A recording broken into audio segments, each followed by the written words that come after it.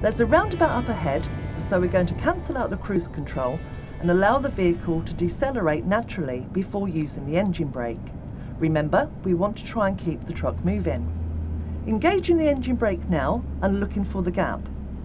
Coming out of the roundabout, the speed limit hasn't changed, so I'm going to go back onto cruise using the soft cruise resume, bringing us smoothly and economically back up to our set speed.